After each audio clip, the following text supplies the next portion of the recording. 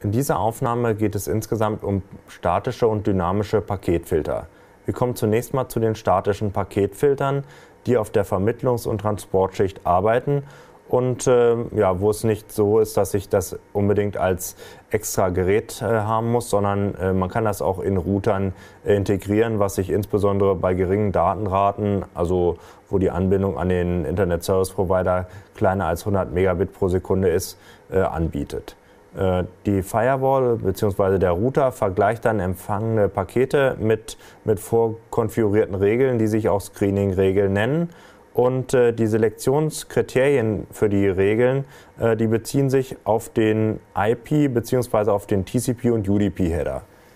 Wir können das jetzt hier in der nächsten Folie mal anschauen, wo wir den IPv4 bzw. den TCP-Header sehen und äh, sehen hier markiert die Bereiche, die dafür besonders äh, relevant sind. Das sind im IP-Header äh, insbesondere die Bereiche des, der Source- und Destination-IP-Adress und des Upper Layer Protokolls. Das Upper Layer Protokoll ist ja dann äh, das Protokoll auf der nächsthöheren Schicht. Das heißt, äh, hier könnte eine Kennung für ICMP, TCP oder UDP enthalten sein. Auch die Optionen und die Flex äh, können eventuell interessant sein. Beim TCP-Header geht es insbesondere um die ähm, Quell- und Zielportnummern und äh, um die Flex. Ähm, das heißt, das sind ja die Bereiche, zum Beispiel, die gesetzt werden beim TCP-Verbindungsab- oder Aufbau. Und äh, auch die Optionen können hier relevant sein. Ja, bei solchen Screening-Regeln, da hat man dann zwei Teile. Zunächst mal hat man gewisse Selektionskriterien und äh, diese ähm, werden dann ausgewertet, ähm, ob die zutreffen, also ob das True oder False ist. Äh, die Selektionskriterien können dabei, wie jetzt eben gesehen, Portnummern, Protokoll-IDs oder, oder zum Beispiel, ob das Syn- oder Acknowledgement-Flag hier enthalten ist, äh, sein. Und äh, ja, wenn eine der Regeln jetzt hier entsprechend der Selektionskriterien äh, anwendbar ist, also mit True hier ausgewertet wird, dann wird als zweites dann die entsprechende Aktion äh, hier durchgeführt, wobei es drei verschiedene Möglichkeiten für Aktionen gibt. Zum einen äh, kann ein Paket durchgelassen werden, das ist dann eine Allow-Regel. Ähm, und bei den Verboten, das heißt, wenn ein Paket nicht durchgelassen werden soll, gibt es noch die Unterscheidung, dass das Paket entweder kommentarlos verworfen wird, dann nennt sich das Ganze Deny, oder es könnte auch sein, dass das Paket zwar verworfen wird, aber man eine Fehlermeldung per ICMP an den Absender zurückschickt. Dieser letzte Fall ist äh, dann äh, relevant, wenn man jetzt zum Beispiel eine äh, ja nicht so genau weiß, was das für Datenverkehr ist und vermutet, das könnte jetzt eventuell eine neue Anwendung sein, äh, sodass man dann demjenigen, der diese neue Anwendung äh, konfiguriert hat, äh, den Hinweis gibt, dass die jetzt an der Firewall nicht erlaubt wird. Weil sonst, wenn die Firewall die Dinge einfach kommentarlos verwerfen würde, äh, dann wäre es für denjenigen, der diese neue Anwendung machen möchte, eventuell schwierig festzustellen, dass das Ganze durch die Firewall verworfen wird, weil auch sonst einige andere Ursachen in Frage kämen.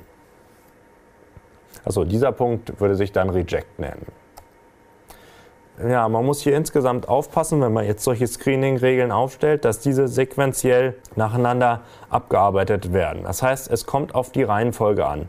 Die erste Regel, bei der äh, diese Selektionskriterien äh, zutreffen, die also mit True äh, ausgewertet wird, deren Aktion wird gemacht. Wenn jetzt weitere Regeln wären, die dem widersprechen würden, äh, dann würden die gar nicht mehr beachtet.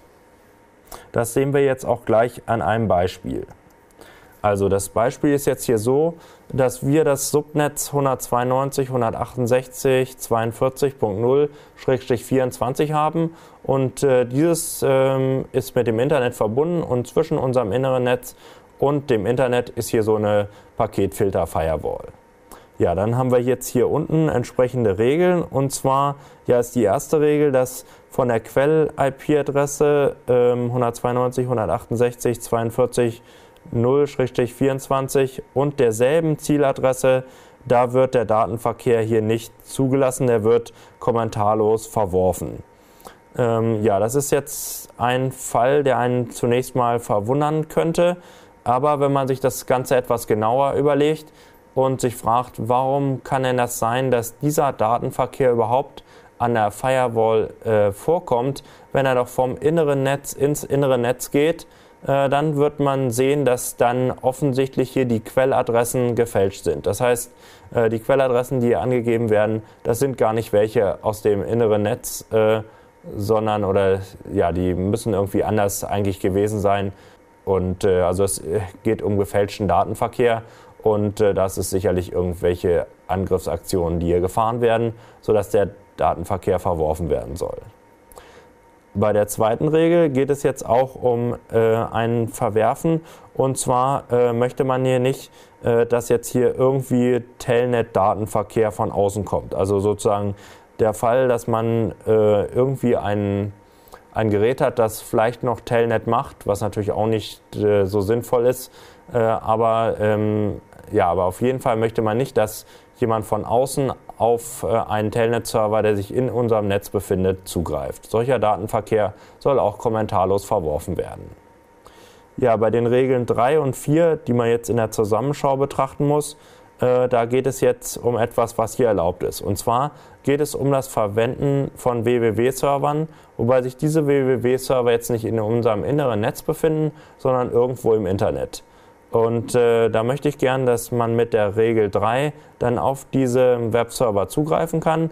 Und äh, diese Webserver werden identifiziert über den entsprechenden Well-Known-Port, die Portnummer 80. Damit diese Server auch entsprechend antworten dürfen, hat man die Regel 4, äh, die die Gegenrichtung hier entsprechend auch erlaubt. Ja, gucken wir jetzt hier nochmal weitere Regeln an. Also mit den Regeln 5 und 6 äh, geht es jetzt um SSH.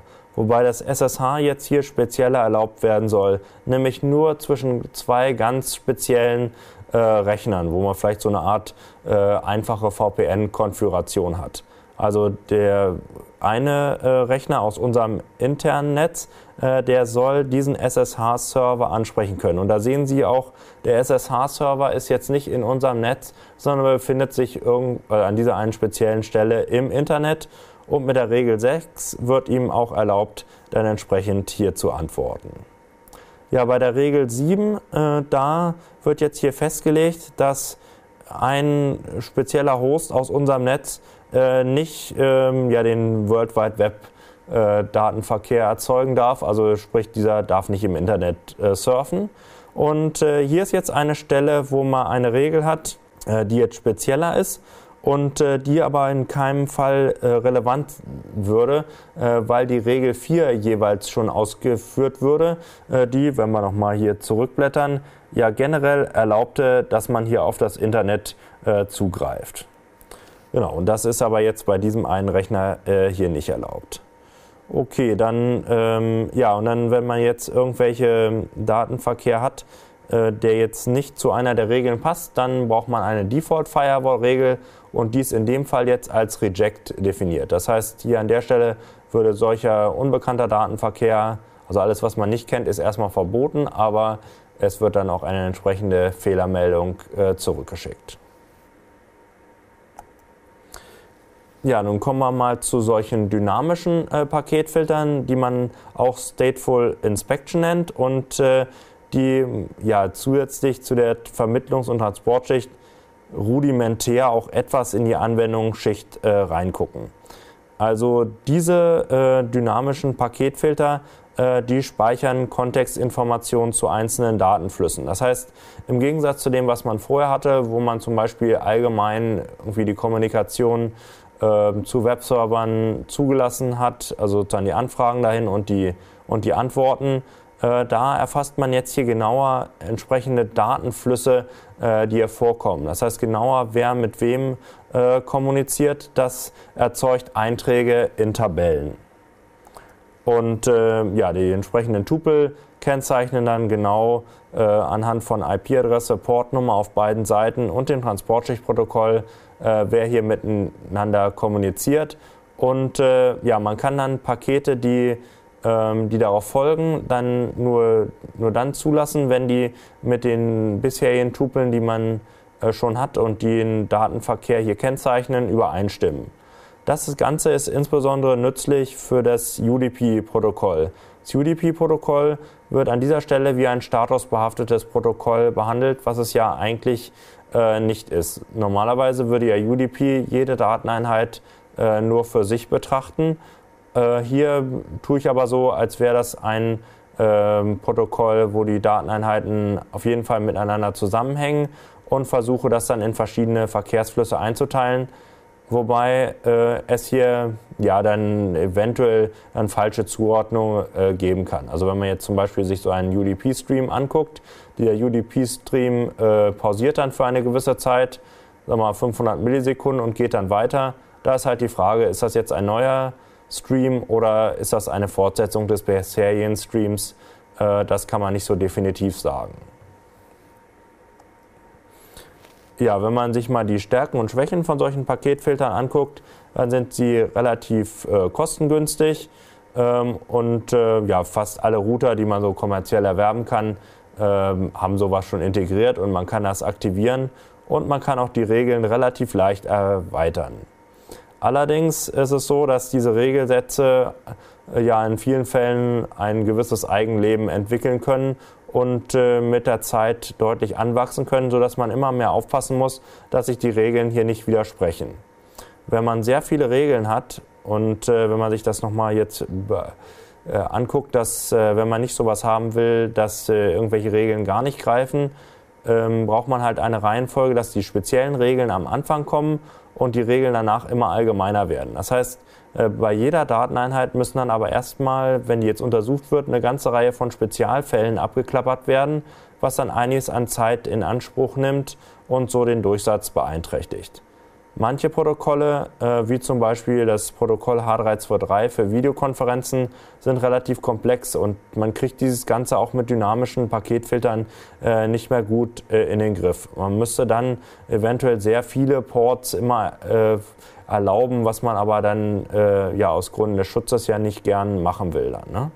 Und äh, insgesamt ist das Ganze halt nicht wirklich auf einer semantischen Ebene. Das heißt, wenn sich jetzt hier ein Missbrauch von Well-Known-Ports darstellt, also zum Beispiel, dass jemand auf einem äh, Port, der nicht für FTP vorgesehen ist, aber trotzdem dort einen FTP-Service in, äh, in Betrieb nimmt, dann kann man das auf dieser Ebene äh, nicht erkennen.